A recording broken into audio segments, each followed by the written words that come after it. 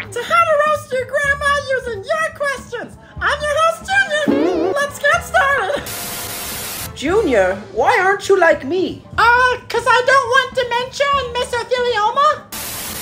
Junior, why did you hit your sister? Oh, shit!